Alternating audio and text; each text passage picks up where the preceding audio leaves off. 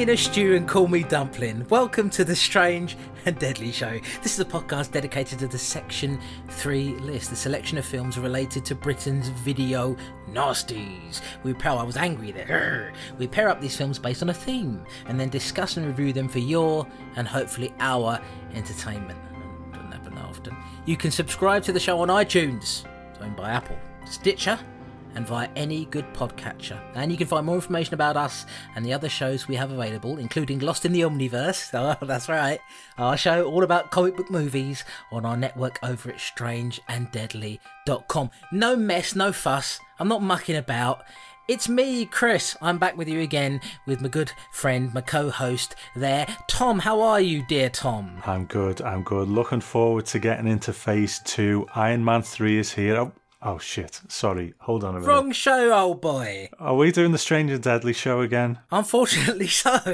The fan, fan demand has called for it, Tom. We've got to come back and talk about this nonsense again. Okay, well, fine. Okay, we've got a couple of horror films then. Yeah, stick bloody Iron Man up your up your jacksie, mate. We've got no time to talk about Iron Man here. We're going to talk about these fine cinematic masterpieces here on the Section 3 list. and that's right, we, we pretty much just turn up whenever we want now, don't we, Tom, and say, ha ha, we surprised you, here we are. That's right, that's what we do. But this time, and, and to be honest, we're not even following the running order that we set out 12 years ago when we started this podcast.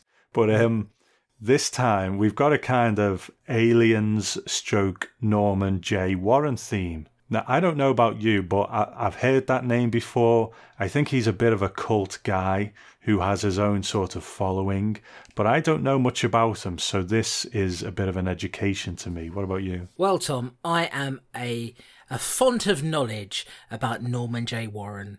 Uh, actually, I'm not, but I've got a paragraph here that I copied off the internet, and I'm going to tell you about it. Well, I didn't copy it actually; I wrote it myself, but with information that was gleaned from the internet because I'd sort of heard the name before.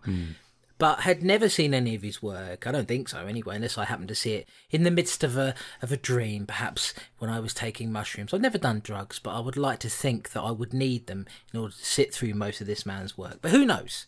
But let me tell you a little bit about Norman J. Warren. So, old Warren, he was a British director, Tom, born in 1942, eh, a year after you, who came into a little bit of notice in the 70s and 80s thanks to his work in the exploitation genre.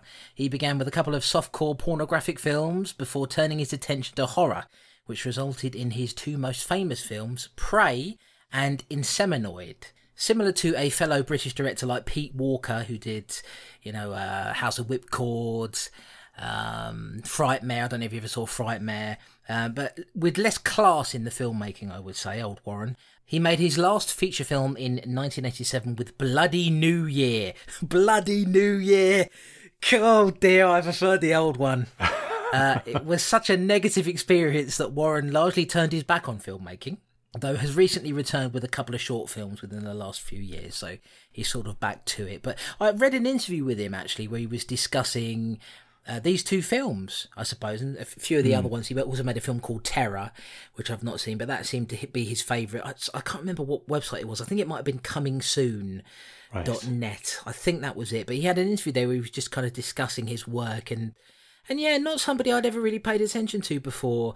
But you know, one of these films in particular, in fact, the, the first one we're going to cover, Prey, is very, very, very British, isn't it? And I guess, you know, coming off the back of the sort of the, hammer horror scene that was going on at the time, moving into this direction where we, we've sort of seen the end of that, really. We were seeing the end of Hammer, the end of Amicus, and moving into a different era of of horror filmmaking. Of course, when we get to the 80s, we then get to a film like Hellraiser, for example, where suddenly it looks like, even though it's a very British film in, in itself, British in some ways, I say a very British film, it was set in, in England, of course, but you had American actors in there. We're then getting to, you know, I consider Hellraiser to certainly be a different class of filmmaking compared to to, to these. But uh, interesting that there was still British horror being made at this time by directors like this. It's funny you should mention Hellraiser because it was on my mind when we watched these. I was thinking, I wish I was watching Hellraiser. No, I wasn't. But I think you can, I think you can sort of see the lineage, and you're right. It's the aftermath of the Hammer era.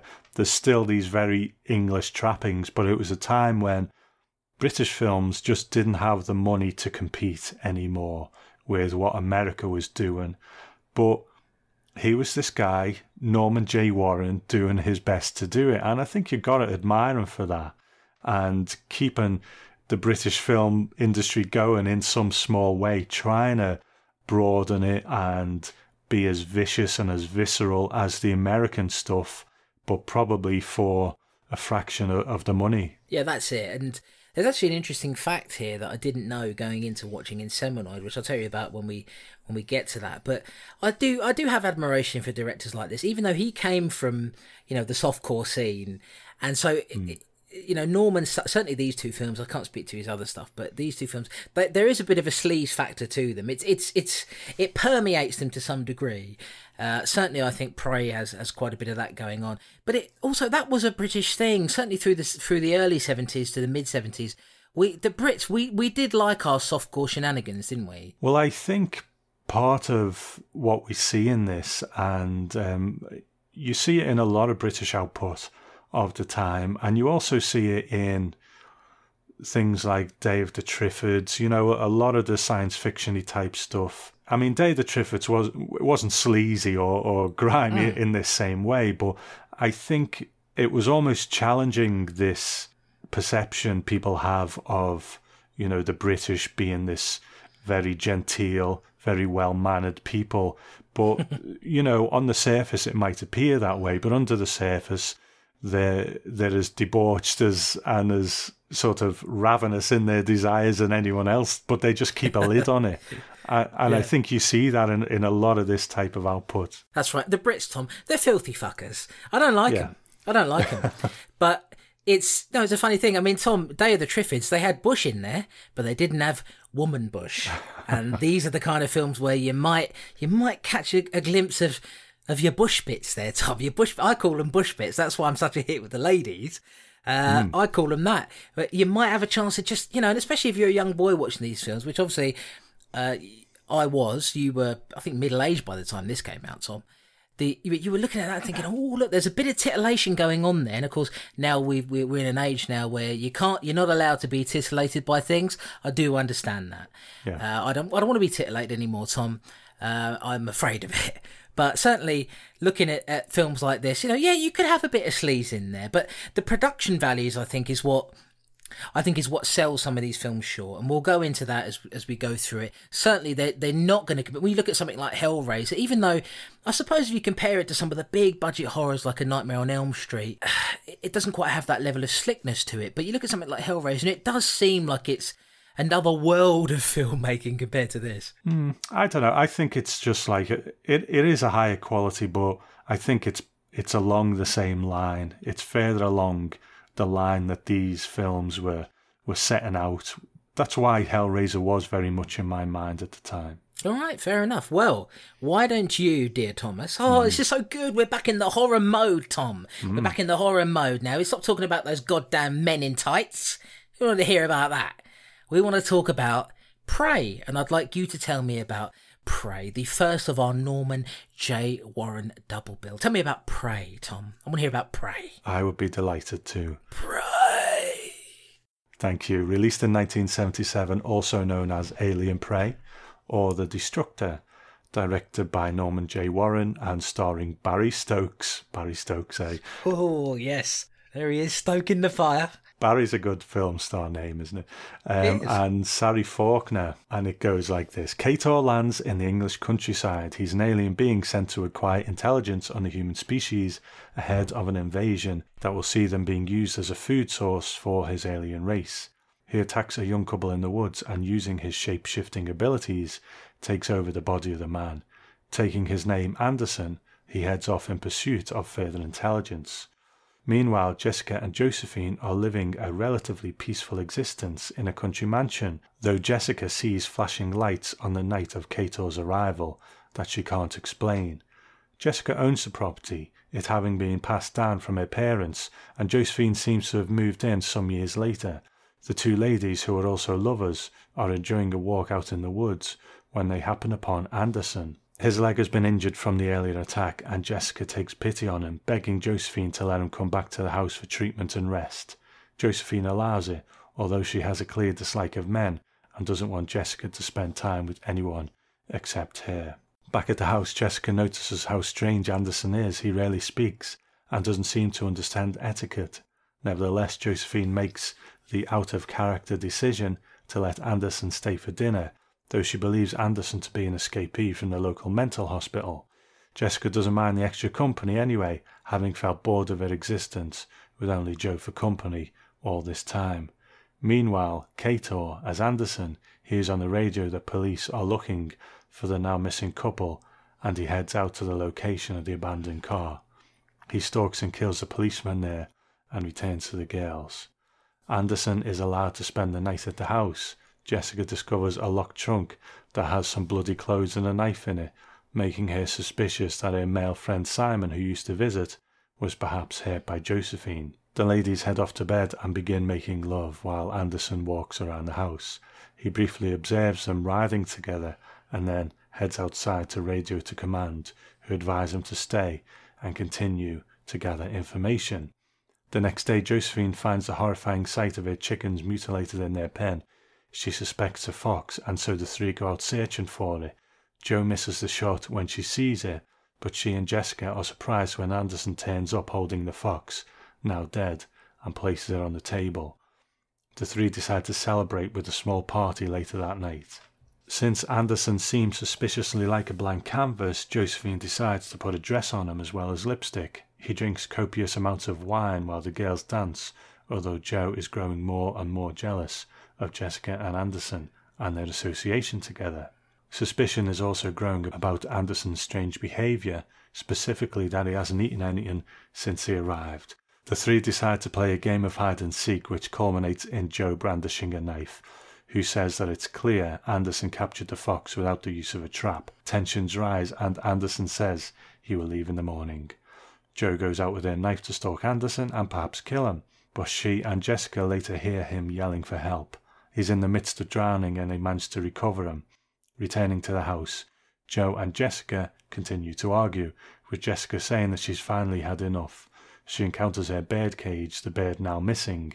In anger, Josephine tells Anderson to leave and goes out to prepare a grave, especially for Jessica. It's clear this is something she's done before. Will Anderson help, or does he have a more sinister plan in mind for the girls? Joe? Mm-hmm. I think I'd like to go away for a while. You're going away in July? In September we'll be in Paris. I don't mean that. I mean by myself, just for a little while. No, Jessica. You Can't risk it. Why? Look, we've been through this before. Can't you imagine that I might want to be with somebody else sometimes? There can be nobody else. But, Joe, we're not the only people in the world. Jessica, if you went away and allowed yourself to get screwed up. I might find somebody who could understand, who could share. No. No, I could never let that happen. Joe? Joe, listen! I don't want to discuss it. Who are you? What are you doing in there? This is private property. Anderson. Anderson. My name is Anderson. I'm a stranger here. This is private property. This house. Does it belong to you? Goodbye, Mr. Anderson. I'm sure you know the way out. He's hurt, Joe. Mr. Anderson? The man's limping. He was obviously just resting in the lodge. Can't we give him some water or something? All right. Mr. Anderson, would you like a drink? Have you had an accident? Can we help? Yes. Can't remember. My leg. Never mind. Come on back to the house and rest. Besides, it's a long time since we had a visitor. All right, Chris, Prey. What are we thinking about this one? Oh, yes, Prey. Well, what an odd little duck this be, Tom. It's, uh, like I said towards the beginning of the show, it's a very, very British horror movie. And I sh- sh- I, we should say at the very beginning of this that the the version of this that Tom and I saw was pretty close to potato quality. so that doesn't help, especially during the nighttime scenes where it's all pixely and horrible looking. And like I told Tom before I watched it. I'm not putting this on the 4K TV. I uh-huh. didn't pay. I didn't pay nearly 500 pounds to stream this to a TV. Uh, so I'll put it on the iPad instead, where it's squashed down a bit, and hopefully get some enjoyment out of it. As far as the film itself, uh, I have to be honest. As a, a general overview, I found it pretty meandering, and there are so many different aspects of it that I can't. I couldn't quite work out why these things were happening particularly in respect to these two women who seem to be enjoying enjoying you know relatively happy life. You know, jessica who is the character there who's canadian who had moved to england. They never really sort of quite explain this completely. We'll, we'll get into it as we go. Uh, I, i've spent the whole movie wondering why they invited this blank canvas of a man into their house in the first place and why they kept him around. And that is something that baffled me throughout and I never really got over it. You know, as a, as an overview of it, I I thought it was, like I say, very British. It I it, it had the feeling of a softcore porn to me throughout it, but without much in the way of sex. I mean, you can't really get that much of a, out of a softcore porn anyway, unless you're young and you just need something to get your stiffy going. Uh, I don't need that influence anymore now, Tom. As we know, I'm a good boy. But back yeah. then, certainly, I might have watched something like this and been like, oh, look, there's some boobies there. I will get the old Tommy Tucker out and have a go at that and see how we get on. And then I can always, if I'm finished and I haven't got any tissues left, I can wipe it on the curtains. There's a reason why I haven't opened my curtains since about 1992. But I'm not going to tell you that reason. You kind of figured it out. Uh, Prey is not a very good movie. The bones, perhaps, of a, of a good idea in there but I have to say, I found it quite a meandering thing, and it never really connected in the way that I was hoping it would. Uh, that's me. What about you as an overview of Prey? Well, I'll, I'll start with the why. Why did they take this weird guy into their home and feed him and offer him tea and not just tell him to get lost? Um, yeah. It, it is a strange one, and I don't think the, the film particularly sells it that well as to why they've done that. But I think as it goes on, I begin to understand why a bit more. At, but at that point, but at that point in the beginning, it doesn't really make sense. Now, the thing is, as we go through the plot, we see that Joe is actually um, very controlling of mm. Jessica. And while she might not realize it, Jessica is, as Anders Anders Anderson, good name, um, says later on, she is like an animal trapped in a cage, and it's almost like she's like, oh look, someone else is here, someone else to kind of free me from this. But it, it's almost subconscious, you know what I mean? At that point, she's just happy to see someone else. So even though things aren't quite right, she's like, yes, come in, come in. So that that's my um, view on that, and we will we'll we'll get into that a bit more. But hmm. as a general overview, you're right. Early on, it it was pretty meandering, very slow. But I have to say, the longer the film went on, the more engaged I was with it. I actually really rate this one quite a bit. I think it it's obviously very cheap and so on, but the dynamics of the relationships for me that, that really make it quite interesting. So I, I quite like it. Right, there's something wrong with you, mate. There's something wrong with you that we need to diagnose, and we ain't got time to do it in this episode. But we got we got to figure something out because, you know, there's, there's, some stuff you told me you found boring, and you like this. It's it's it, it, you know, and you you shouldn't be judgmental about it, and I do understand that. I'm not trying to give you a hard time, but you know, they they paid three middle class people to run around a country mansion for a bit, and that's all. That's kind of all this is, really. You know, I mean, it's.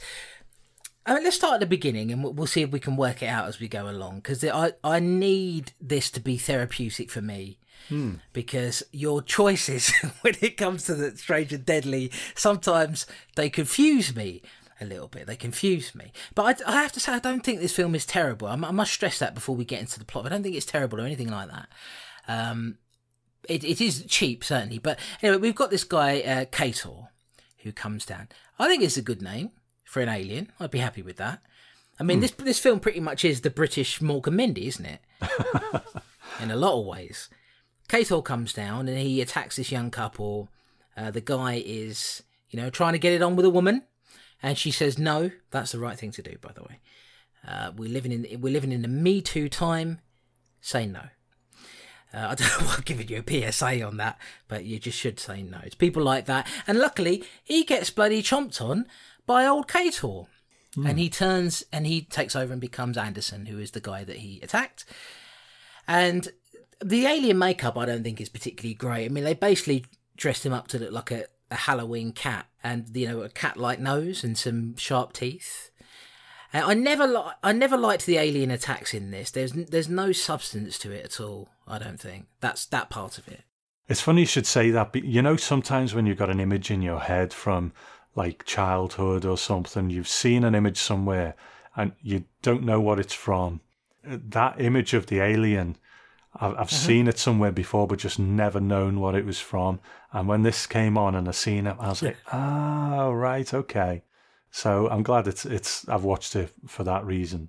It's great when that happens. It's like when I found that Indonesian martial arts movie that I was telling you about. Oh yeah, was it the year before last? Or it's something like that where you go, oh wait, that was that thing. Oh, I'm glad I found it. So mm. at least that's good. So I mean, it, it, you know, it's um, it means that this is because I know that this is now your new favorite film. So now that you now that you know that, you can watch it, you can find it and watch it over and over again, uh, and enjoy it. Mm. Right, let's crack on. um, so we've got all that stuff with Kator at the beginning. He becomes Anderson. What do you think of that? What do you think of the guy who plays Anderson in this, Tom? It'd be interesting to see him in something else, wouldn't it? To see whether mm. this is actually just his his acting range, or or whether he was just being very true to to Kator as some blank canvas. You know, he's big, he looks strong. I think the biggest crime he commits in this is wearing a polo neck jumper the same color as the trousers he was wearing at the time. You know, so it just looks like one big polo neck jumpsuit. You know, that is un- unforgivable. But I don't think he's a he's a great actor by any means. He just sort of stands there looking blank a lot of the time. But I guess that's what he was there to do anyway. Yeah, I mean, I, I did, uh, you know, obviously looked him up quickly to see what else he'd been in. He's been in a few things, so it wasn't. Mm. I, I, had the feeling I was going to click on his name on IMDb and it would just be this, and it would be like, oh, okay, I understand it now. But uh, no, he he's like I say, blank canvas is the term that I've I've used throughout it. That's all I really see. And maybe he, like you say, he was meant to play it that way, but he's not. He's a bit of a charisma vacuum.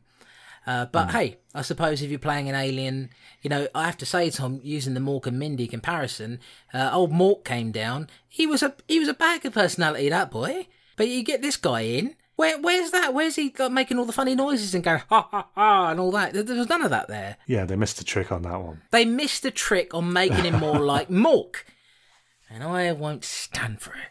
So you get introduced to Jessica and Josephine there. Now, now one interesting aspect to this film that you don't see that often really in these kinds of kinds of movies is that these two ladies here they're in a lesbian relationship with each other and mm. that's not and it is played relatively it's not i don't think it's played in a particularly exploitative way what do you say about that they have a sex scene and apparently yeah. that was put in later on to to spice things up or it was added to the script later on to spice things up to make it a bit more saleable to say well look at this scene we've got in here check that out it's hard to say really because i don't know whether i'm getting ahead of myself but i, I read a bit about this film and when you see what the sort of you know the academics and the the reviewers and things the the meaning they try to attach to it. Mm-hmm. you know you realize that it's a, it's all a load of old bollocks.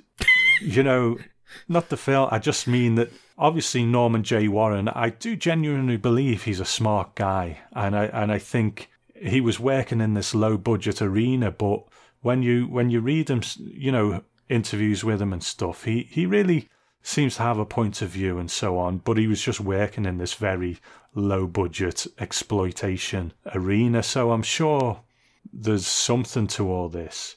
But when you read what other people try um, to apply to it, you know, I read about, you know, one critic saying, well, this is all about, you know, the threats that males pose to females. It's about this, it's about that. And there's so many different points of view on it that you think, everyone's just projecting what they want it to be about really onto it. And it's like is it really about that? I don't know. I mean yes it, it's unusual to have this lesbian relationship. It's not the healthiest of lesbian relationships is it? You know because mm. joe is such a uh, controlling figure.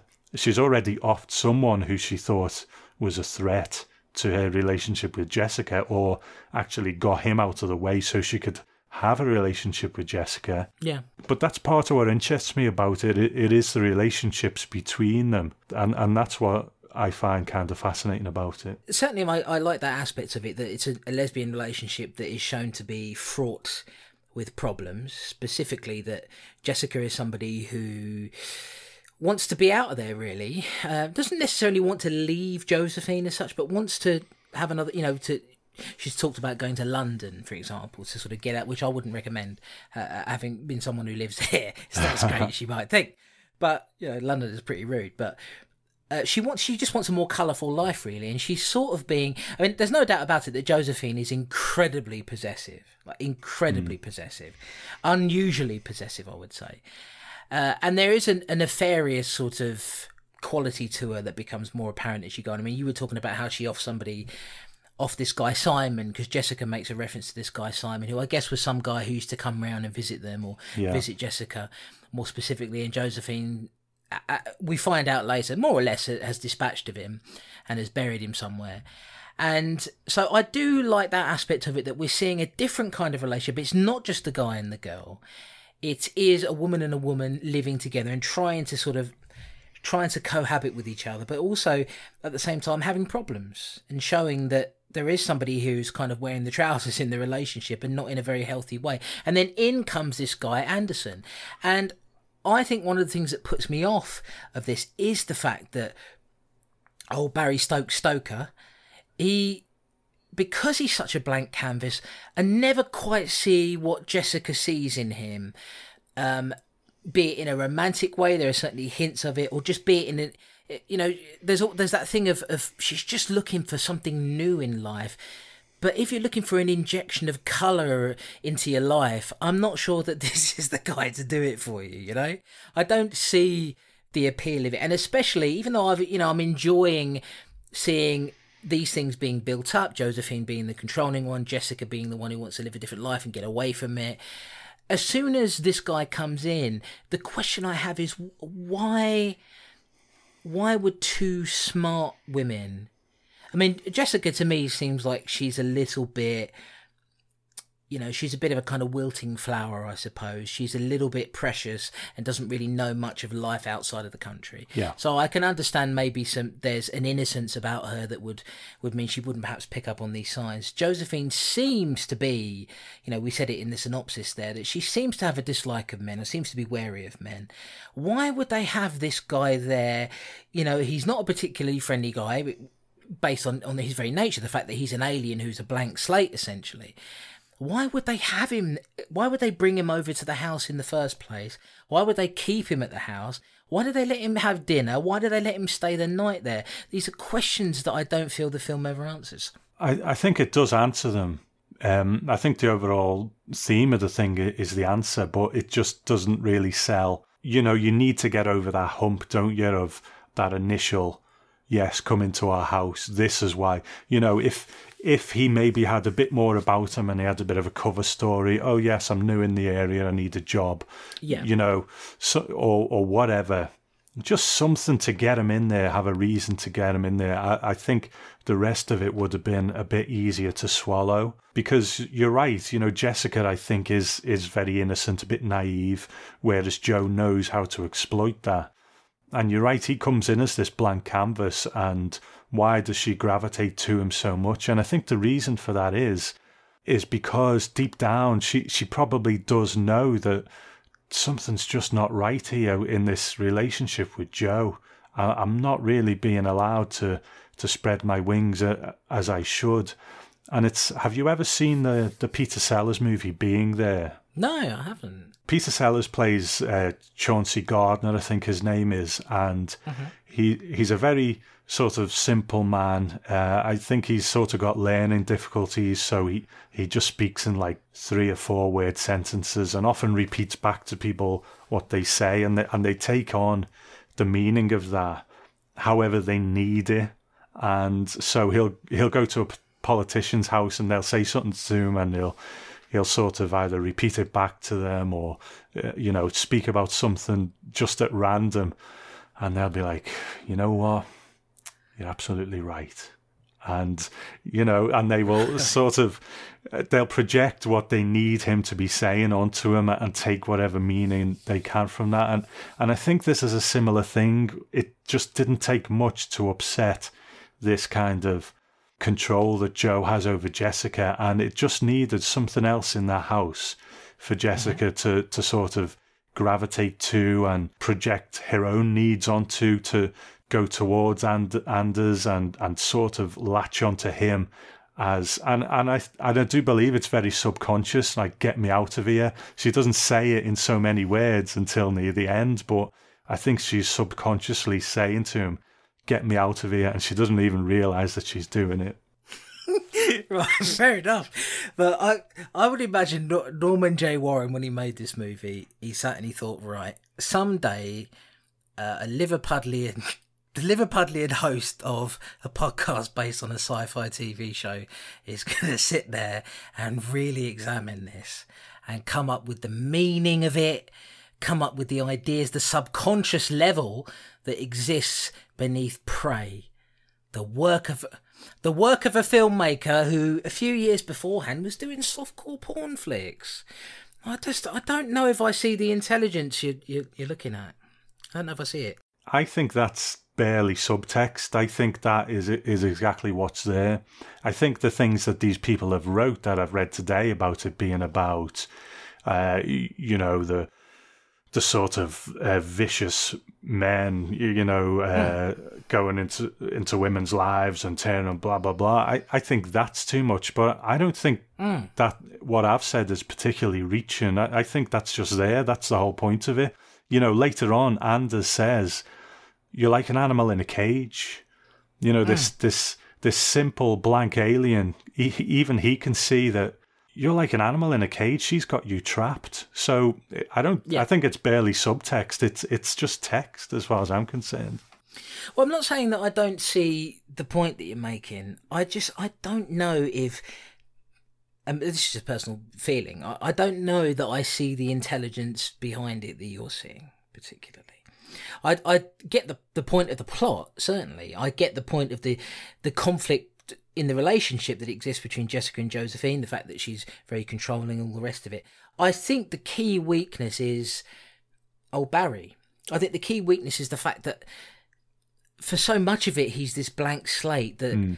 there's nothing there that projects that for me. I get the, the point of it, but I don't get the power behind it. I mean, the way that you're speaking about it, which you're very entitled to do so, it, it makes it sound like it's like it's a powerful drama. And to me, what I'm seeing there is is more of a a meandering film that bills itself as a horror movie has a poster with which actually is a bit of a spoiler the poster is a, a, a the the alien prey poster is a poster of him feasting on this young girl and there's blood everywhere and that's not the movie i see the movie i see is a bunch of english people in a house for you know it's not a very long movie either it's only about 70 minutes long or something. It's not very long, an hour and a quarter.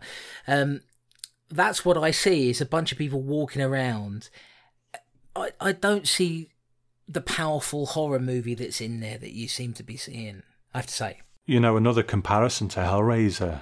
And Hell, hmm. Hellraiser is, you know, infinitely better. I'm not saying otherwise, but it's a similar thing. Predominantly, Hellraiser's about the relationships between you know, Julia and Kirsty and uh, Frank and, and so on and so on.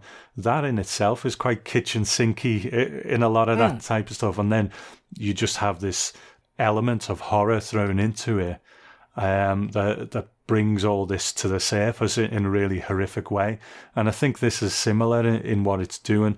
And I'll take on board what you're saying about old Barry Bethel. Just maybe they should have either tweaked his performance or maybe give him a little bit more character, like he was able to um, maybe be a bit sneaky or, or try and coerce his way in, or, you know, just give him enough that it wasn't so. Because it, it does seem kind of random, doesn't it? That they, mm. they bounce off him in a particular way.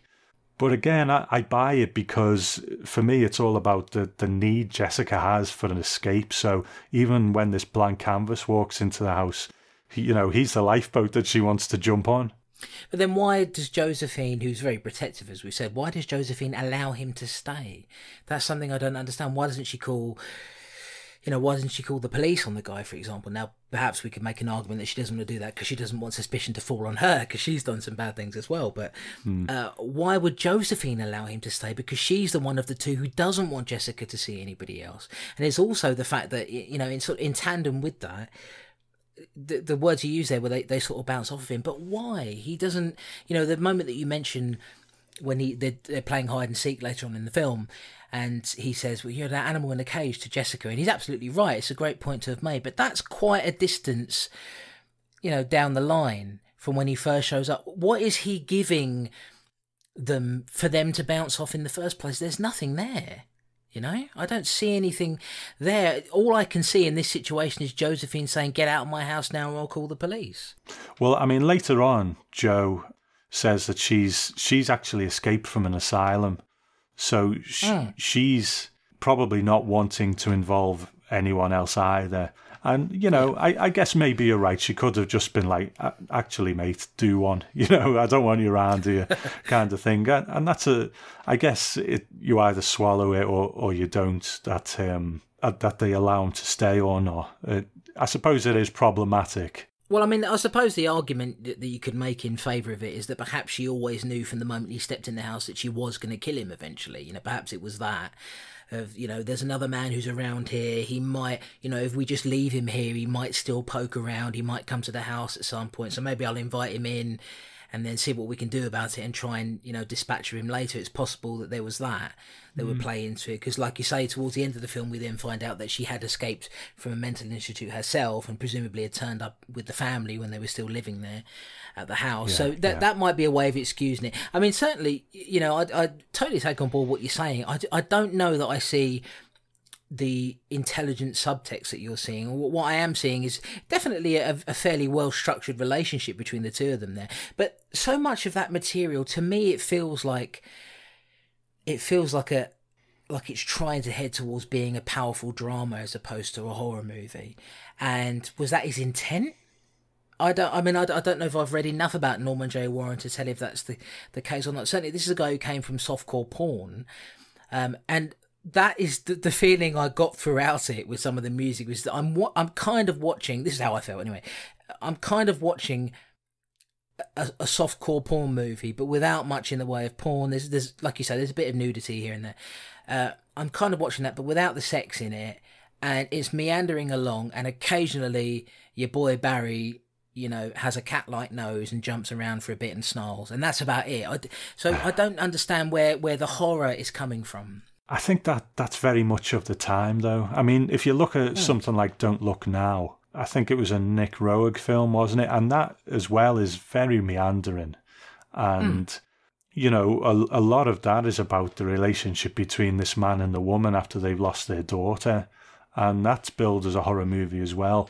And, and I think that was very much just what, what they would do at the time and it would be a, about relationships but have these sort of horror elements in it. And you know I, i'm not going to come up with some kind of um, metaphor or, or whatever for this one because i've read so many today that i, I just i don't want to i don't want to nail my colors to the mast with, with just another one. But but I I think that's what they would tend to do in those days, and, and a lot of horror movies of that time were quite meandering because Don't Look Now is virtually there's hardly anything that happens until the end. When you have you seen it? I don't want to ruin the end. Yeah, yeah, I have. Yeah, you, you'd uh, don't worry about spoiling it. Although you may want to put a little warning in in case somebody who's listening to this hasn't seen it. But um, yeah, Well, I I don't necessarily have to say what the end is, but you know, case in point, it just goes through the whole film. There's virtually no horror in it, and then there's something that isn't even that horrific at the end, to be honest, but it is quite striking in its way. Yeah, um, so memorable. I just see it as, as of its time, really. I think that's totally fair enough. I mean, I think you've made incredibly good, you know, well-reasoned arguments about it. Uh, this is certainly the most we've. I think this might be the most we've debated a film on this on this show, and you know, it's for me, it's not a passionate debate because I don't, you know, I don't hate the movie or anything like that. Um, maybe I was looking for a certain vein of horror that I don't feel is here, uh, and perhaps also looking for. I, I feel like that. I feel like horror some, sometimes is more effective when you you get uh, you know, a, a, big, strong sort of central character that the like Anderson could have been, which he isn't in this. But perhaps if he had been, I'm trying to think of an example that would make sense, like Eleven in Stranger Things. Mm. Uh, and obviously that's a very different kind of story. But the reason I'm applying it to this is because I think if you had you know, Barry playing somebody who was actually quite interesting, who perhaps was sympathetic to some degree, but at the same time, I had this thirst for doing what they needed to do. I think that might have been a more interesting plot point for me than this you know, rather dull guy coming in and repeating a word now and again that they've said and, and, you know, sort of strolling around. There's a believability aspect to it that I don't quite get. You know, when they, when he's in the house the, the very first night and the girls go to bed and they're, they're making love and everything. Yeah, I don't think I've ever been to a house in the country that didn't have the creakiest floorboards in the world. Uh-huh. And yet he's able to walk around that house no trouble. And they don't, and the girls don't think, why is this guy, you know, because if they've had a, a stranger in my house, which I wouldn't, staying the night, somebody who I'd only met that afternoon, wouldn't I be curious about why he's sort of walking around? Why is he always walking off into the woods and then coming back again? That if you if you want there to be a believable relationship in there, which this is kind of a believable relationship between Jessica and Josephine, you surely you've got to have the the rest of it believable as well, and you've got to make decisions that make sense. I can't imagine you know, unless you're you're a thrill seeker or something like that, I can't imagine two people inviting a guy like this into their house, letting him have free reign of the house, you know, letting him go, you know, go and come whenever he pleases for no apparent reason. It doesn't make sense, and it doesn't sort of fall in with the idea that these are intelligent women. Not to me, anyway. Certainly not Josephine, who seems to be in control of everything. If she's so in in control of Jessica's life, why is she letting this this element come into it? Unless she brought him in purposely to kill him. I think what it, it comes down to is this, and this seems to be part of the great divide, is that mm-hmm. I, I agree that initially I was like, why are they doing it? Why are they letting this guy in? You know, he sits there, sort of snarls at their cup of tea for a bit, looks at their looks at their budgie or whatever it is, like, what the hell is that? And just says very little. I agree that early on, it's it's a jump. It's getting over that hump. But the more the movie went on and the the cracks in their relationship were exposed, and he was sort of the lightning rod for it. It didn't take much to sort of nudge you. You know, it, it could have been anyone. Jessica just needed someone there to gravitate towards to, and then Joe's behaviour would, would become more obvious. It and uh, for me, that's all it needed. So the longer the film went on, the more I believed him being there. But I do agree that early on, it's like, no, why would why would they let this guy in? You know. So I, I think that's where the divide is. You either get over it or you don't. And if you don't, mm-hmm. then you go through the whole film thinking, well, what, why is this happening? Because he shouldn't even be there in the first place. Well, I suppose I would say because we should probably finish up on this point because we've been debating that same point for quite a while. We need to sort of move through the plot. But I'll just ask you this: you said that the film provides you with an answer as to why he has to be there, and certainly if you're looking at it as him being a lightning rod for the you know to kind of expose the cracks in their relationships relationship i do understand that. That still to me doesn't provide an answer as to why they would allow him to be in the house or specifically i suppose josephine given the naivety that jessica um, seems to show. What what answer are you given that explains why he should be in the house? Beyond what it does to the relationship i understand that that's a byproduct of him being in the house but what answer does the film give you that explains why these two women would have this strange guy in their house? I'm curious as to what that answer would be. Because jessica wants him there. She wants him there and she's very enthusiastic about him being there. And i think mm-hmm. for joe i think she she probably sees that and she's if she's completely off the rails, no, fuck off, you've got to get out of here, then that's potentially going to upset the apple cart with Jessica a bit. I mean, that's how I see it anyway, that mm. she would rather kill the guy surreptitiously and and be able to say to Jessica, "Oh, he he left. He said, you know, thanks for everything, and I'll see you later." I, I get where you're coming from. It's just not really a problem for me. I, I kind of once I've got over that initial hump, I, I just kind of go with it. So, do you think perhaps I'm overanalyzing it? It all depends. It's all perspective, isn't it? I mean, you said you hmm. thought I was overanalyzing it, this relationship kind of thing between them all. So, I, I guess it's where you come from, but it, it's it's to me, it's like it all comes down to that to that first kind of third of the film where he first turns up, and you either you either say yeah okay and then accept it because then for the rest of the film I, I think it, it's it's fine, or if you don't then the rest of the film just stays as a problem. So I'm not saying you're overanalyzing it because Mm-hmm. you know it, it it's probably more of a gut feeling than anything else, isn't it? You sit there and you just think this isn't right. Yeah, and I would also say that I don't think you're overanalyzing either. You know, when I said that um, about you, you know, perhaps looking at it a bit too closely and a bit too intelligently. Well, part of that is also me making fun of you for liking a movie that I didn't expect you to like. To Bastard. be honest with you. So there is, yeah, ex- exactly, exactly. I'll take that. I'll take that. I'll take that on board. But the thing is, you know, I don't quite see it as the intelligent drama. And I, I do feel like this airs on the side of perhaps being more of a drama than it is a horror. You hmm. know, only when he f- he has an occasional feast on people, which doesn't happen that often. Uh, do I feel like it, it fits into the into the genre there? You know, to me, if you took Anderson out of it, it would just be a drama about a lesbian relationship and quite an interesting one. And maybe that would have been better. You know, if I'd gone into it knowing that that's what it was. But isn't Hellraiser that as well? You take the Cenobites out and it's just a family drama. It's the same thing. It, it is, but at the same time, when the Cenobites do come in, and when you get Pinhead in and the box is open and all the rest of it, it adds a kind of lore to it. Uh, lore is in L O R E. It adds a lore to it. There's an ancient history side to it. There's a, you know, these denizens from hell have come down. There's a whole other story that is opened up, quite delicate at first, and then it just becomes this, this, you know, this um, act of extremity after extremity, one after the other. Uh, which this doesn't have. It doesn't have that. This is at, its you know at its root, it's a drama that happens to have a couple of bits of horror in it. And like you say, there's a guy who comes in and then exposes the cracks in their relationship. Whereas in Hellraiser, once the family drama gets to a certain point, it then becomes a full blown horror movie, and it becomes this is nightmarish. You know, um, I don't see you know a similarity there at all. So I, I do see what you're saying in regards to you know the, the stuff with Julia and, and Frank and all the rest of it. You know that you could possibly have a similarity there.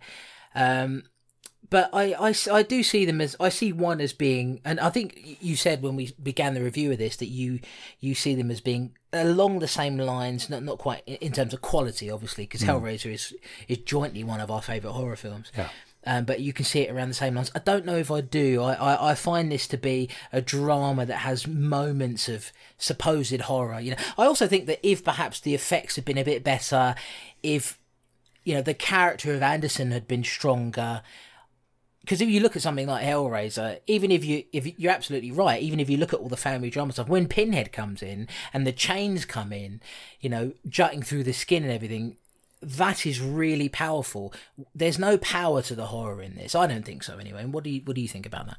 I, I would disagree on one scene um, because yeah, when, when he gets his black eyes and you know his teeth and, and stuff like that, and they use it quite sparingly as if they know it, it's not the best.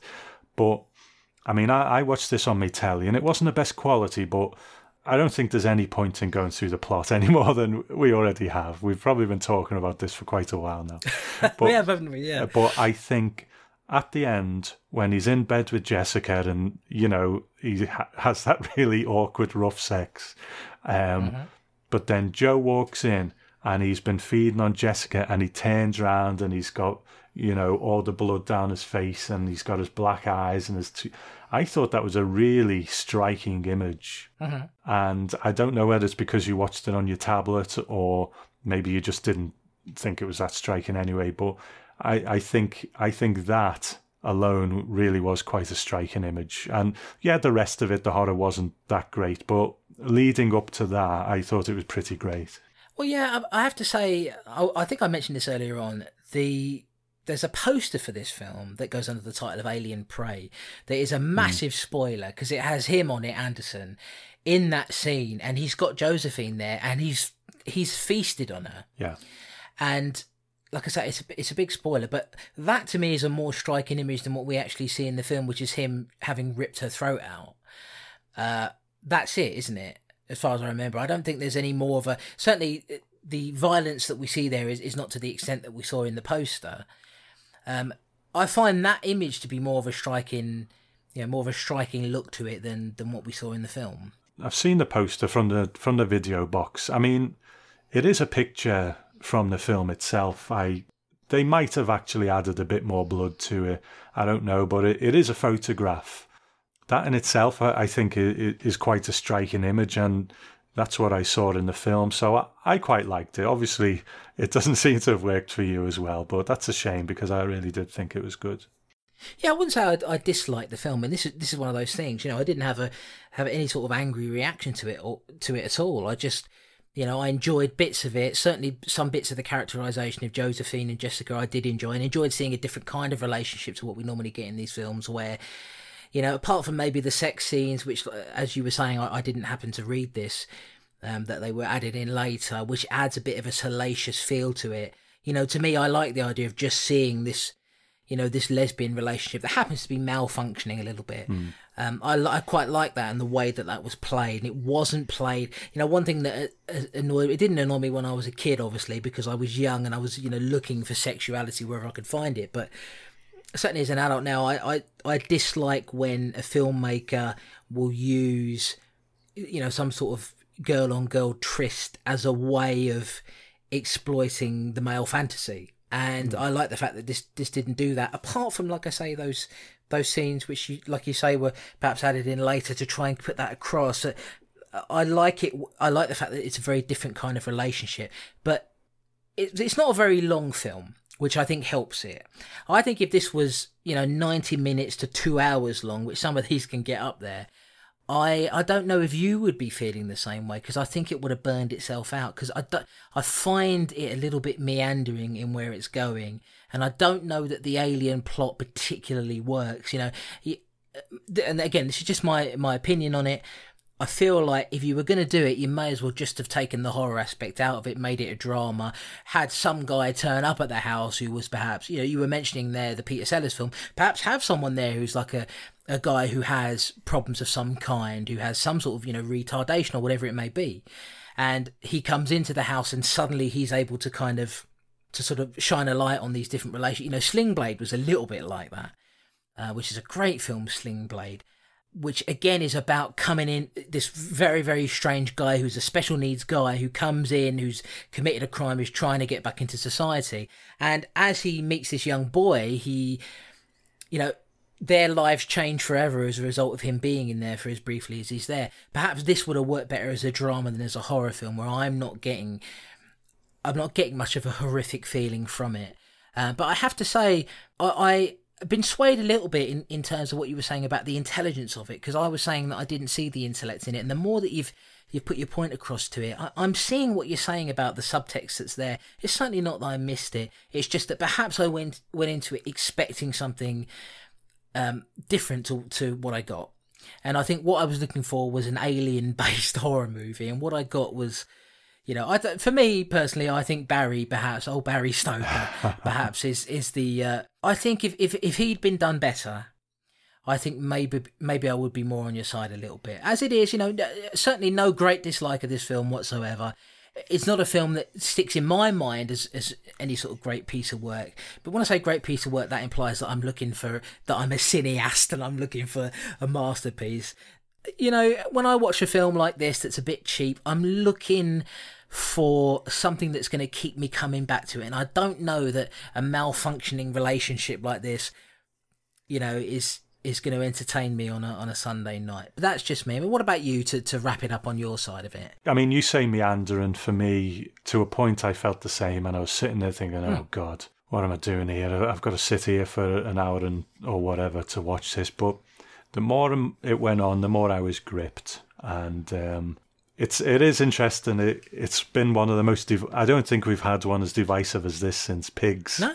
Um, but um, you know that's that's what it's all about, I, I suppose. To to be able to do that and have those conversations, and there's so many people out there who just can't stand someone disagreeing with them. And at the end of the day, who cares? You know what I mean? It, it, can still be civil. I'm never going to speak to you again after this, but um, yeah, good. good.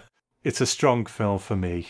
And I'm not even sure strong is the word, but it was unexpectedly interesting and quite compelling in those relationships between the people. And, you know, I, I really enjoyed it. Whether that translates to me actually watching it again, I'm not too sure. But in the in the scheme of things going through the section three list, it was a pleasant little surprise, I think. I mean, we've seen far worse than this. Hmm. Mm. You know, film. You know, films like Wrong Way. I can't even remember the titles of most of the ones that we've seen that we really didn't like. Hmm. Mm. And this certainly is not. Is not in a didn't. It's not in, even in a didn't like category for me. It's more sort of in the middle of that, really, of a kind of uh, yeah, uh, you know. But what this is how you do it, folks. This is how you have a discussion without shouting at people and trying to pull them apart. You know, I mean, when I do say, "Oh, Tom, I don't understand you," and all the rest of it, you know, that is me playing and making fun. But you know, you can't get that upset about somebody's opinion on a film. You shouldn't, because uh, as much as we love film, and we both do, and you folks listening out there, as much as you love cinema, uh, it's a it's a it's a small thing in the grand scheme of of things to be mad about in life. Definitely, getting upset because somebody disagrees with you on a film. It's such a tiny thing, and we've had you know a couple of people, one in particular. I won't I won't go in, uh, say any more than that really on its specifics. But we've had one person who really got upset with us because we didn't like a film they liked, and it's like, listen, man, you, you've gotta you gotta grow up. Get some perspective get some perspective because you know there are a million things that have happened in your and my life and probably the people listening to this that are way more important than somebody's opinion on a film. You know if, if i say to tom i really like this film and he says well i didn't like it you know and probably vice versa you're like that's absolutely fine. You try to understand their opinion and as long as it's said to you in a way that is constructive that's all that matters. You know now i do prod at tom and make fun of him and everything but um you know that's banter. That's not because I actually legitimately want him to feel bad that he has that opinion. Because that's a stupid way to live your life over a film and anything really over a film, a game, a book, uh, you know, uh, an album. Don't get mad. I don't know why I'm saying this as if it's a PSA for people, but you know, it does. It's you know, I have listened to shows where people get really mad if you have an opinion that differs to theirs, and it's like you, you, you shouldn't be having that opinion. Just enjoy your film or don't enjoy it, depending on which way you swing, and let other people feel the same way about the thing. You, you know, you shouldn't be coming in and trying to pull people apart because that annoys me. And if you annoy me, I won't speak to you anymore. I'll put you on mute and I'll uh, block you on Facebook, and you'll never hear from me again, and I'll never hear from you. All right, Tom? All right. So, if people want to get hold of this divisive film, how are they going to get it? Well, Tom, you're going to be first in line, buddy. You're going to be first in line for uh, uh, Vinegar Syndrome. Old Vinegar Syndrome is releasing a restored Blu ray of Prey on February 27th, 2018. The Blu ray will also be packed alongside a DVD as a separate release. The Blu ray disc itself is region free. I've actually got a, a release from Vinegar Syndrome up there, which is Christmas Evil. Um, and that was region free as well. So it seems like they do that for most of their stuff. Um, doesn't seem to be another release of Prey in the UK after the VHS came out, and I think I had a look on Amazon, and it was like uh, like hundred pounds or something, hundred fifty pounds for the VHS. So it doesn't look like it ever had a DVD release here. The Vinegar uh, Vinegar Syndrome release looks like the best opportunity to acquire acquire it if you so desire. Now, Tom, this is this is kind of me poking fun at you a little bit here, and I'll say this and then we'll leave it here. But you are, in my eyes, notorious for saying that you, you really like to film on this. And then when I ask if you're going to buy a copy of it, you never have. and um, it's the same way with Pigs. It, I think there was one or two others um, prior to this that, that he said, "Oh, you know, I, I, really was gripped by this. You've never owned a copy of it." Uh, to be fair, you and I are um, making a move pretty soon towards going to more of an old digital life, so I can excuse you on that. But is this something that you would buy a copy of and watch again? I'll be curious to see it in a more cleaned up version, but yeah, but probably not because I, I think the older I get, I mean, I've made the mistake of going through life just hoovering up. Oh, I like that film. You know, I'll buy. I like that. And I think the older I get, the more I realize that there are films that I like and I've got what I need from them and I'll move on. And there's films that I like that become part of, you know, my life from then on. And I've got better at making that distinction the older I get. You know, so it doesn't mean that I haven't enjoyed it, but it's just I don't need to own it. Yeah, that's the thing, isn't it? Being a bit more selective about it. And I'll leave it on this last point, really. For all of my, you know, making fun of Tom, the I've bought, and I'm I'm not saying this is a bad film. I'm saying I've bought many films that if Tom, if you knew about them, or if I found a copy of it, you would look at me and think, Chris, what are you on about? Um, so I'm, I'm, sure I've got a feeling after this episode arrives, there are going to be a lot more people ticking the old box in the Tom Elliott fan club.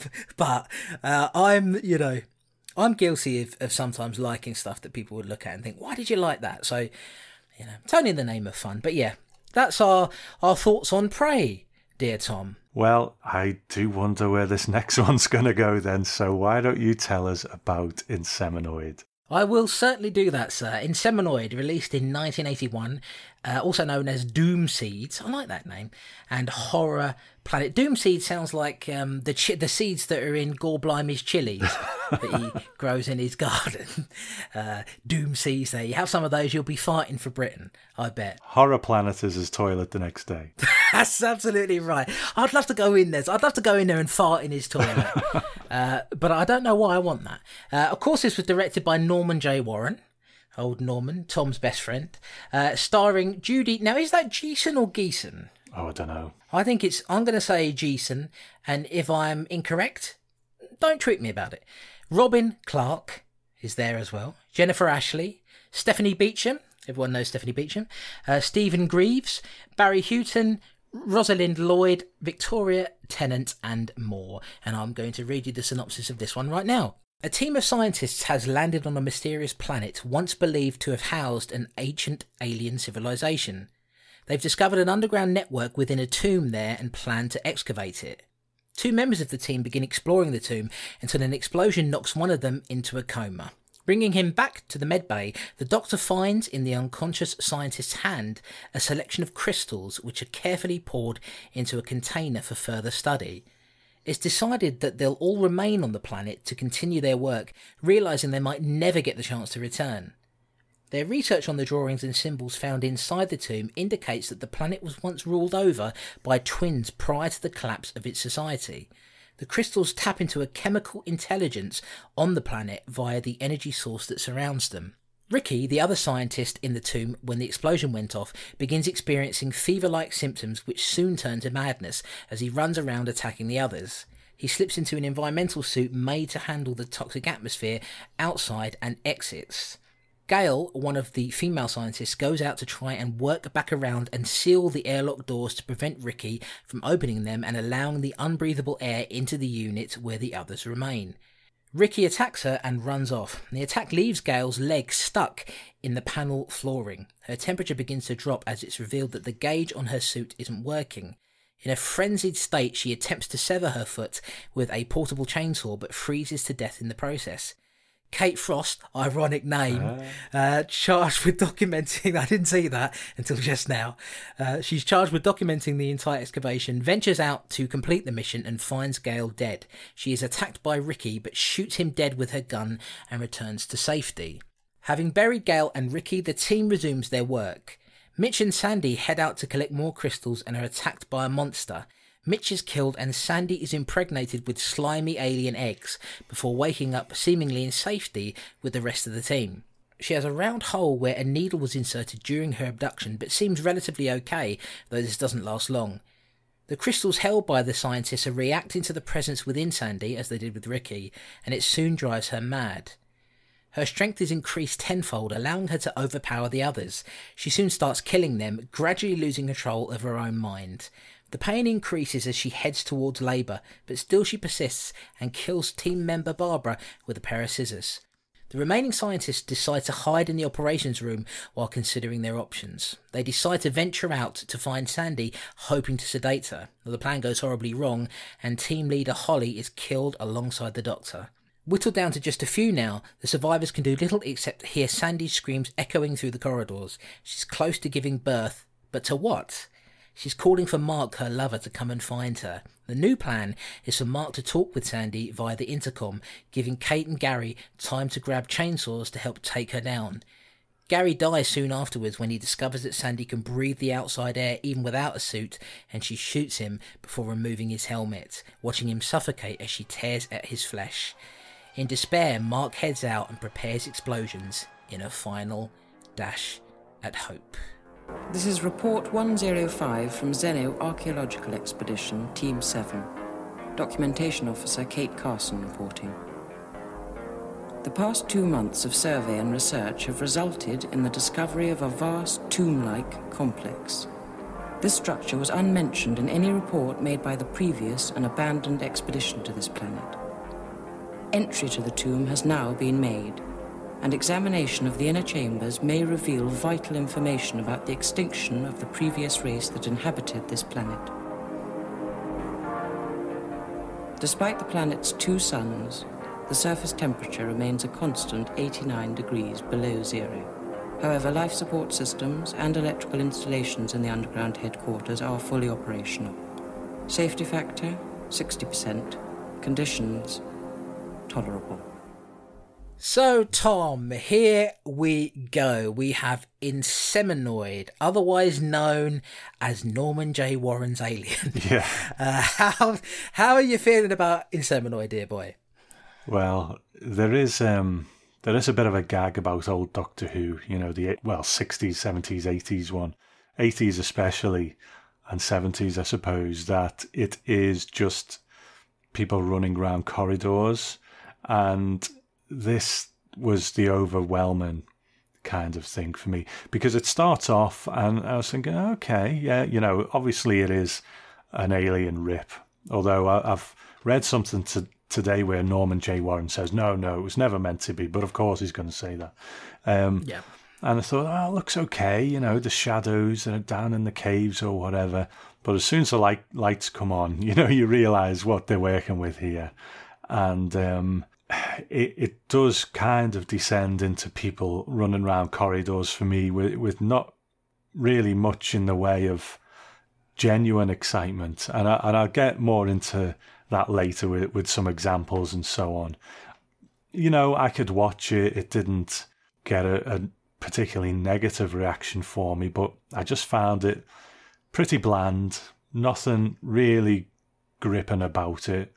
You know, unintentionally funny in a few areas, but you know, not not that great for me. What about you? Well, it, it's interesting uh, to go to the point that you were saying there about uh, your boy there, uh, Norman J. Warren. He, I, I was reading an interview where the interviewer actually said, "Well, this obviously, uh, and Timberland obviously is a is a big rip off of Alien."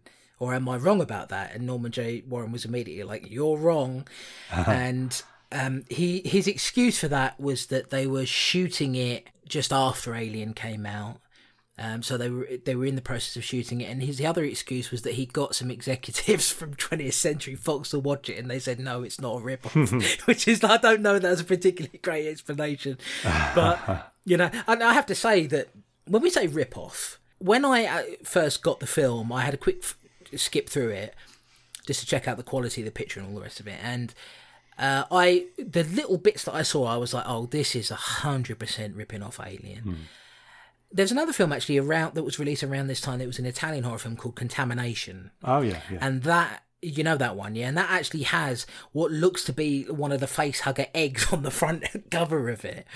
You know, we have to be honest about it. Alien was a huge influence on horror filmmakers when it came out everywhere. And there's no doubt about it. So when you watch something like this, you realise the skill that went into making a film like that. You know, uh, for, I'll give you an example.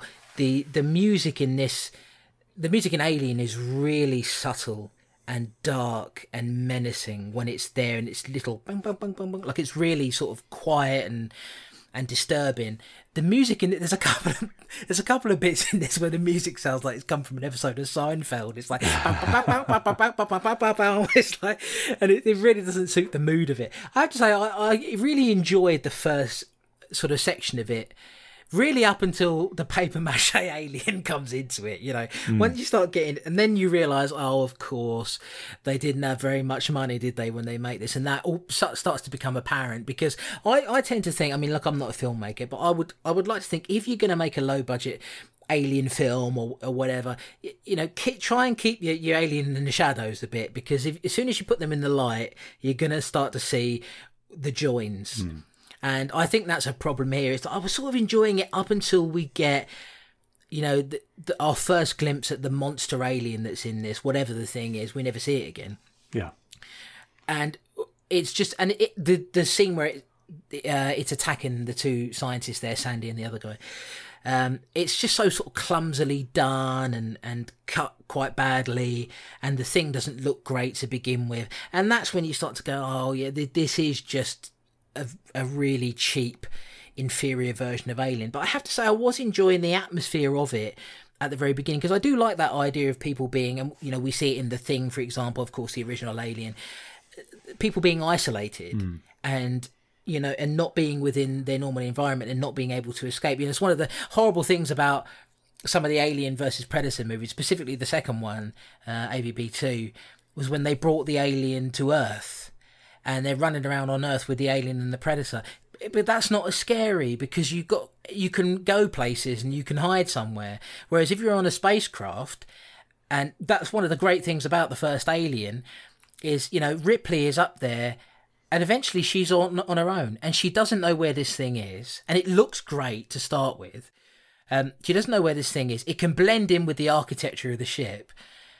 It's a frightening thing. This it, it never really got there um, it's interesting because it, it, it's got a bunch of fairly well-known british actors in this you know, you've got Stephanie Beacham there, who's been in a whole bunch of stuff. You know, she was, I think she was in Dynasty, which my mum used to watch. Amanda Amanda Reyes from Made for TV Mayhem will know many of these actors, I'm sure. I think the British. I mean, let's talk a little bit about the cast before we delve some more into the plot. How are you feeling about the cast in general? For me, the uh, Judy Geeson who played Sandy was a real standout here. I thought that she was able to kind of communicate the torture and the pain of that character. Uh, the American lady who plays Holly, who's the I guess the the leader of the team, not so much. Uh, did was not very good. I mean, how are you feeling about the cast? Was um, Judy Geeson, was she the one who turned out to be the killer? Yes. Right, okay. I'll be honest, mate, that, that was one of the big downfalls for me that no one really had any character to them, any any personality. It was just all people. It was it was so earnest and serious and British, like uh, Prey. Yeah. So I, I read one review that said, you know, it, it could have used a bit of humour in it. Um, and I, I'm not saying it should be hilarious or anything like that, but when you've got an alien that looks so ridiculous, and that first attack scene that you talked about, where you just see like, you know, a hand coming in, I, I think they did try and hide it a little bit at first, but but it, even keeping it in the shadows couldn't hide the ridiculousness of it. You know, you either go with a ridiculous movie with a bit of humour and blood flying everywhere, or you'd make Alien. You know. Yeah. I don't know. The the cast just I don't I don't think there was many sort of distinguishing features between each character. They were all just very blank and very earnest and very serious and that was that really. I mean Stephanie Beacham, I think she was in the Colbys, um, which was a dynasty spin off. I remember that from when I was a kid. And, you know, I used to have a bit of a crush on her when I was a kid. I thought you were going to say the thing that I was going to say, which is I read an interview that she'd done concerning this film, and she said she took this the role in this film solely for money. That's, I think we can no see other that. reason. Yeah, there's no other reason she was in this. She doesn't care about the film, doesn't like the film, thought it was an awful experience, all the rest of it, but did it so that it could it could, you know, pay her way in life. I think she had kids or whatever it was and she needed money. So that was the only reason she did it. I do think that Judy Geeson is the standout in this, playing Sandy, who ends up being the one who is the inseminoid or whatever. If if, that is the inseminoid, I don't know if the inseminoid is the is the alien or whether it's just a um a hint at the kind of process, the abduction process that goes on. But I think she's the standout because yeah, she screams her head off in this quite a lot she has to convey, I think, the, the pain of the, the torture that's going on because, as we say, when that attack happens, she's taken, then she's abducted, and it's a really strange scene where um, the, your paper mache alien, which again really works against it because you got your your, your model alien doesn't look great, but he's between her legs and sort of inserts this tube, and this green, slimy, gunky nastiness comes down that tube. Yeah, I mean, has he got a big glass dong or something? Is that what it is?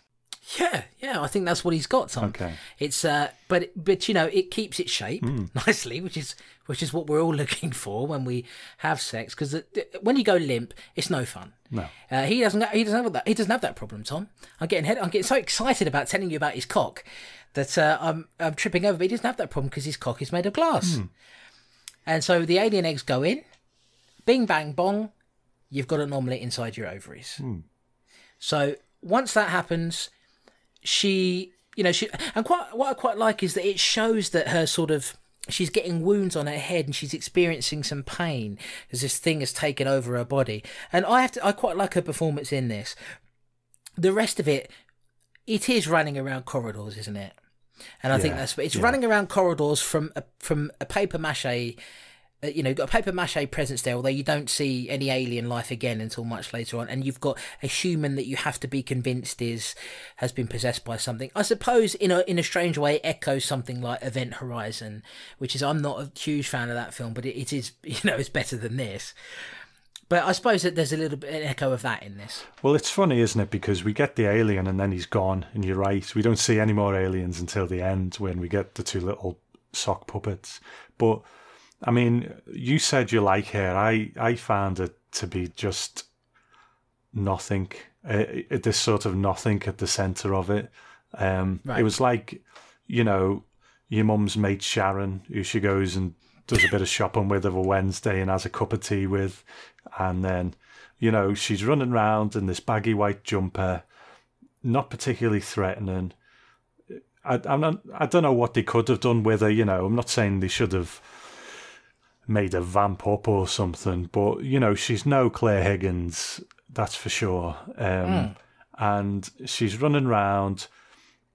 The the violence is laughable in, in terms of the, the fights. You know, they barely touch each other or they punch past each other. There's one moment where a guy fires a fire extinguisher in her face, but it misses her face, but she still goes. "Arr!" It was like it was like in the Naked Gun when someone threw a pillow at Leslie Nielsen's face and he, he just grips it to his face and goes. "Arr!"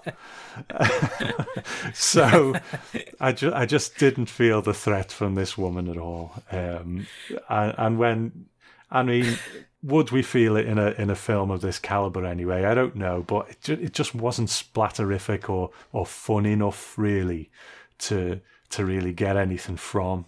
Well, what I was going to say was that everybody in this film is useless. everybody in this film has a chance to do something to this woman, hmm. Sandy, and nobody ever does. They can't land. I'm not in favour of hitting women, but we, she's been taken over by an alien. They don't manage to land a hit on her. They don't manage to shoot her with anything. The the one time that somebody hits her, like you say, and even then, even then, it's a misaligned shot. but it's the the flamethrower thing. Nobody nobody gets a chance to do anything to her until the very end of the movie.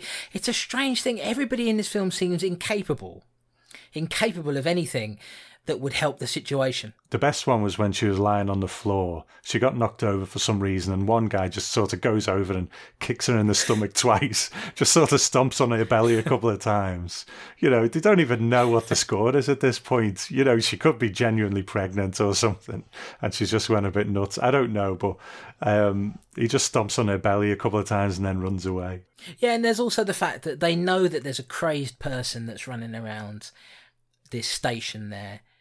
They they're all holed up in one place and they commit the one of the big sins in horror, which is to send people out on their own. and they do that time and time again where they're like, What are we gonna do about Sandy? I know, I'll go out there and do something and of course they end up dead. Oh that guy's dead, what are we gonna do about that? I tell you what, I'll go out there and cause a distraction.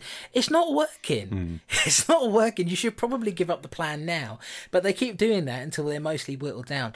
Um yeah, it's not great, is it? There probably have been. I mean, Italy love their rip-offs. Yeah. The the Italians love their rip-offs. There were probably. I mean, I didn't particularly love Contamination either, to be honest. But I, I remember it being slightly better than this, if not great in itself. There there must be a better Alien ripoff than this though, because this is pretty dour for most of it. I I wish. I just wish the atmosphere had been kept up a bit, and I wish they had a better monster in it. Because I think, I think the key thing is you have to be afraid of the thing. You know, when I watch Alien, I am afraid of that thing because I realise if I was in you know, an isolated location with that thing, I would be terrified. I'm not so sure I'm going to be terrified by this big, big-eyed paper mache thing. Uh, it's just not quite the same thing. And then also a crazed woman who, I mean, she's got. We understand that she's got increased strength because of you know she's been possessed by this alien being, whatever it is. Um, but you know, nobody, like I say, until the very end of the movie where she's strangled to death by Mark uh, who's who was her lover early on because they have a, a, little love scene of sorts. You remember when he goes down? This is very early in the film. He goes down to check out the lights mm. in in one of the one of the rooms there, and she meets him there. And then like two seconds later, they hug him with their clothes off, and that's like that. That's the bit of titillation that you get in this if you're seeking it. Yeah.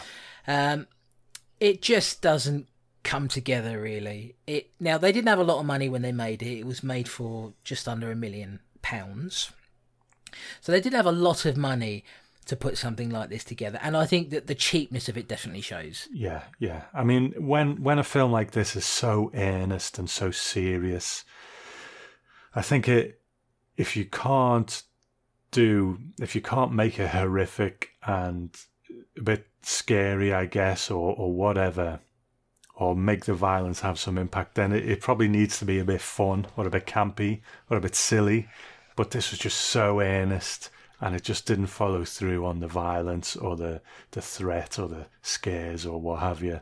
So, unfortunately, but you know, saying that, it wasn't offensive to watch. You can sit and watch it and, and not be too bored by it, but yeah, wasn't wasn't a good one for me.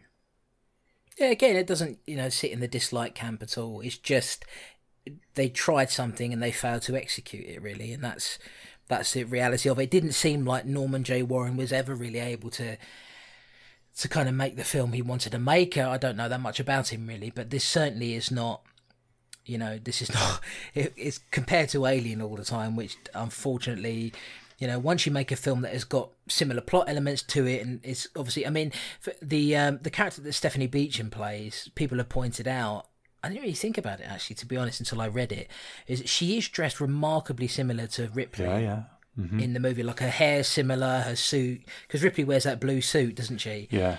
In Alien, so she is dressed remarkably similar to her, uh, but Alien, this ain't. No. Uh, and I was going to say this ain't up there with Aliens either, but as we know, Tom not a big fan of that one. Like it's better than Aliens. Oh God, what's wrong with you? Honestly. I don't I don't understand you. But that's all right, Tom. That's all right. You're from up north. We've learned to tolerate you. Let's not uh, start but it, it is. Come hey, come on. Let's pull the old text messages out and go over those. Um, so yeah, it's yeah, it doesn't really work for me. I have to be honest with you, Tom. The the the only thing that stands out in this to me, and this is going into Christopher's martial arts um, geekery, is that at the very beginning of this film, uh, the beginning credits of it, it says presented or uh, presented by uh, Run Run Shaw, and Run Run Shaw is what is one of the Shaw brothers, and Shaw Brothers is a studio in Hong Kong that produced oh god, probably over a thousand films, maybe, maybe even more than that, um, and many of which were martial arts movies, and some of which were horror. So they did sort of get into horror a little bit, but it just strikes me as really odd because that because Shaw Brothers released a bunch of horror movies and some of them are really really weird.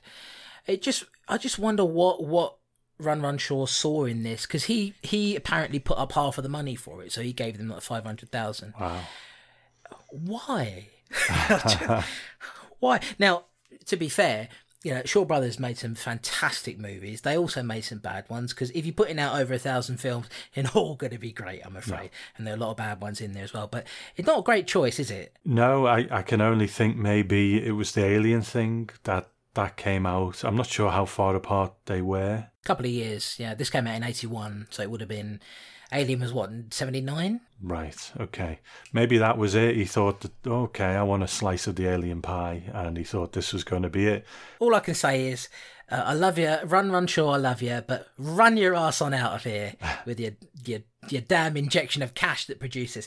It's I don't think it's a it's you know a terrible film. It's just a really lackluster Yeah. thing. It, no matter what Norman J. Warren says, I see a lot of Alien in this and and none of the good stuff. So you know if you're gonna do Alien, try and do it a bit better. You know, for me the the thing of I mean I love Aliens as well. But for me, in ter- having a movie, a, a really quiet, suspenseful horror movie where it's just isolation, one thing against another thing that's much more dangerous than them. I don't think Alien can be beaten for that. I love Alien, and this this ain't no Alien. I've never really understood the rip-off culture kind of thing, and I'm sure there's films that I like in that vein. Um, but you know, studios like The Asylum, when you get a big blockbuster come Yeah. out and they make like a really shit sort of version of it, you know, or, or slightly removed from it.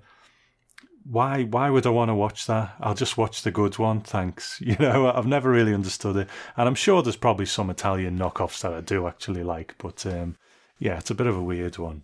Yeah, it's strange. I mean, uh, Asylum will do that thing where like a Transformers film will come out and then they'll release Transmorphers. Yeah, yeah. Where it's like we've taken a bit of the title and then kind of changed it to something else, and it's a strange thing. And yeah, I mean, certainly in in Asia it happened, particularly in Italy. Italy.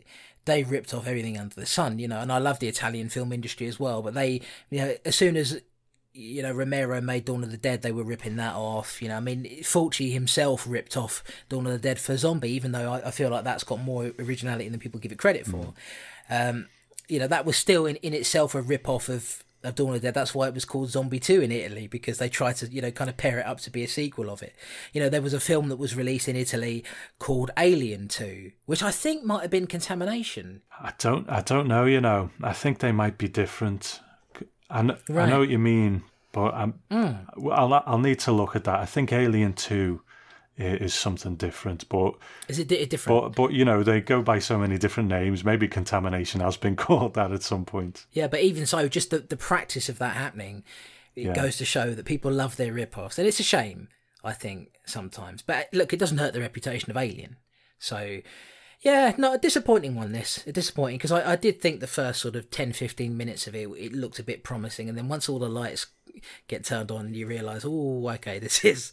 This is not quite doing it for me, but look, it's got a bunch of actors in it who I think. I mean, I did like Judy Geeson in it. I know you, you didn't feel the same. You got Stephanie Beacham, and then you got a bunch of people in there who have gone on to do a lot of TV work. There are British actors there that have gone on to do all sorts of different work. So it's not like these people are not capable of acting. There just isn't a lot of character and, and charisma there, unfortunately. And the one thing about Alien, I hate to keep bringing it up, but look, that's the, the foremost comparison to make is that you did like those characters. Yeah. Um, there was something there for you, and in this, it, it's, it's not so much. No, that's right. They were all distinct people in Alien, whereas these were just all actors turning up, getting a paycheck and going home again. But you know, fair enough. You've got to keep the lights on, haven't you? So, release information, Thomas. Release information because I know you want a physical copy of this, dear boy. I know you want it. Well, let me tell you about it. DVDs were released in both the UK and the US, which are now out of print. Damn it, Tom! You're never going to get one. Uh, they seem to fetch elevated prices. I think on Amazon, one of them was shown for like sixty-five pounds. Don't pay sixty-five pounds for this. Like, don't, don't be doing that. Uh, the UK DVD was released by Stone Vision Entertainment. Um, who's Medusa in charge of that? Eh? Uh, Stone Vision. And the, you don't have to sympathy laugh, Tom. I know it wasn't good. It was awful. Thanks. The US DVD was released by your social taste in movies. The US DVD was released by Elite Entertainment. No further releases seem to be on the cards anytime soon. It's funny because. You know, now, now, come on now. Um, uh, uh, an hour ago, Norman J. Warren was your best mate. Now he's, you- you're slagging him off the poor. That was in the early, his early career. You know, it went right down the pan. after after Prey. within, within four years he was uh, he was lost, which can happen. So look, it happened to John Carpenter. John Carpenter made They Live, and then w- it, the career went to shit for most of the rest of it. So it can happen. Um, yeah, so that's that. Now it is funny to me because Vinegar Syndrome are putting out the release of Prey, so I I wonder if if this will ever see a, a similar Blu-ray release. It's possible because this, you know, the version of this that we watched, it looked in better shape than Prey did. Oh, it did. Yeah, absolutely, absolutely. It's um, who knows. I can only hope for all the fans out there of this movie that it does. You know, I don't begrudge anyone their enjoyment of it. If if people see it as a bit of campy fun or whatever, then more power to them. Fair enough. Right, Tom, you have fulfilled your function, and now I am tired of speaking with you. So, therefore, it is time to end this podcast. But I have enjoyed discussing these movies with you. We had a good old debate mm. on the uh, Prey, which is probably the probably the most the longest we've debated a movie for quite some time. We didn't do it angrily. This is the thing. We didn't do it angrily. We did it the right way. And uh, yeah, we got another strange and deadly show done because you know if you've been, you haven't sort of caught up with the news that's been happening with us, uh, we've been sort of focusing on our superhero podcast, haven't we? Which is Lost in the Omniverse, and we've been working on that. We've had a bit of a break, but we're coming back towards the end of January with a new episode of that. So Strange and the Deadly has sort of been by the wayside a little bit, but we're still thinking about it all the time. We are. You know, I, I love this show. I love the, the name, the brand, the whole thing about it. And we, we always like coming back to do it. And it's interesting. I think the Norman J. Warren film, The Terror, might be actually on the list. I'll have to Ooh. double check that. But so we might have round two or round three even uh, so I can't. We wait. will see. We will see. But um, yeah, Strange and Deadly will return when that is. Who knows? But it will be. We're going to try and, and, and see what we can do to get as many of them knocked out. This I shouldn't say knocked out because every time I say that, Gore Blimey tweets me um, and thinks that I'm talking about having a wank because uh, he's a dirty bleeder with his bloody chilies. Honestly, yeah, we're not too sure, but we're going to try and, and record some more episodes this year because we're not actually that far away from finishing this podcast. We're or certainly finishing the the uh, run that we had in mind, which is the section three list. I think we're about Tom. You were saying it's something like seven or eight. I think so. Episodes, I think so. Something like that. And now, don't look if you look at the running order on StrangeDeadly.com. Uh, don't because it's out of it's out of whack now. But what we're basically doing is choosing films that we feel we might like to cover to finish this out. I think we'll probably still end on the Dario Argento episode because I think that would be quite a nice one for us yeah, to end yeah. on. Um, you know, because we're both Argento fans, certainly of his early stuff. Uh, but yeah, we will announce when another episode is coming, and we're going to try and get some more done this year. So don't you worry, Strange and Deadly's not going away, and we've got, you know, we've got things in, in mind for how we're going to progress this thing. But if you want to listen to us on a more regular basis, every three weeks we put out an episode of Lost in the Omniverse, and we're coming back with episode seven of that very soon. At the very beginning of this podcast, Tom said we're going to be discussing Iron Man 3 because we're starting off the uh, phase two of the Marvel Cinematic Universe, which again comprises of six films there, and that will begin with Iron Man 3 and finish with Ant Man at the very end of it. So that's quite exciting for us to do. If you would like to find us on social media, you can do so twitter.com forward slash the Chris Clayton. We also have a Facebook group which is for uh, Lost in the Omniverse, which is facebook.com forward slash groups forward slash Omniverse Pod. We have a Twitter account for Lost in the Omniverse, that's Omniverse Pod. Uh, we have a Twitter account for Strange and Deadly, which is uh, twitter.com. I don't know why I keep saying twitter.com, but at Strange Deadly. No and in there, just Strange Deadly. Tom, where can they find your good self if they want to discuss with you the merits of, of all this nonsense? Um, you know what? I, I don't tweet anymore. I can't be arsed with it. I don't want to finish on yeah. a downer, but don't don't try and find me. You'll only find me just hating social media. You know, I'd rather live in the real world these days. No, look, I'm not. I'm not. You know, I'm not down on social media. A lot of people like it, but there's so much hate out there in the world that I prefer to just yeah. sit in my little office here with Chris and talk about movies. So let's go go on the Lost in the Omniverse uh, group, and I pop on there occasionally and have brief little chats. Um, but that's probably the best way. Otherwise, don't bother. Yeah, and, I, I, every time we record an episode of something, I say to Tom, "Do you want to tell him where your social media is at?" And he's like, "No, just." Uh, and I, I, mean, I'll admit it, Tom. I, I am down on social media. I don't oh, like shit, it much at all. And you know it's just a vile place full of negativity and people ex- you know you're allowed to express your opinions but you know you post ah. something positive and someone comes in and says something negative the only reason i'm on it is really is because there are a few people that i do like on there Yeah, yeah, and that's it. to promote the stuff that we do if i didn't have to do that i wouldn't be on there either so Yeah, I know the world's got problems, but I just don't need to be reminded of it 4,000 times a day on social media. So that, you know, I'd rather be here talking to you directly, you know. So, uh, yeah. Yeah, but if you want to know the truth about me and Tom, we do spend an inordinate amount of time private messaging each other, discussing uh, the prices of media service and uh, and how we can stream stuff digitally. So that's so we're quite boring people anyway. So don't worry about Yeah. it. Uh, thank you very much for listening and for checking out what we do, and thank you for supporting us. You know, I know it's difficult if you're a fan of Strange and Deadly and not a fan of superhero stuff to wait for these to come come along but i promise you we are thinking about them and about you and we will see you on the next one here on the strange and deadly show i've been chris clayton And I'm Tom Elliott. and yeah we'll see you soon bye for now Bye.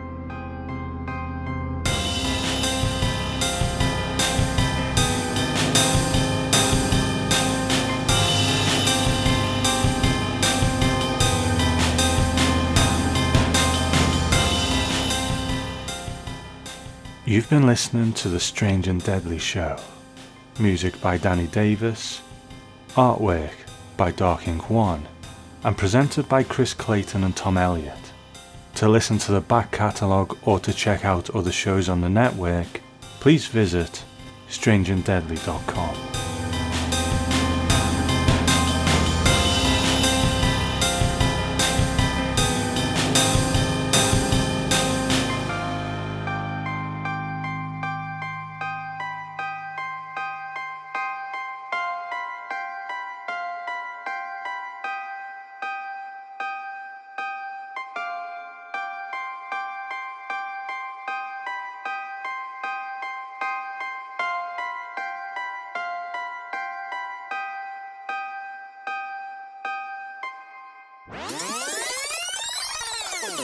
we want to talk about prey and i'd like you to tell me about prey the first of our norman j warren double bill tell me about prey tom i want to hear about prey I would be delighted to. prey Thank you. Really released in 1977. Also, sorry sorry about that hold on. Oh, no, oh, don't do this to me, you fucker. Hold on.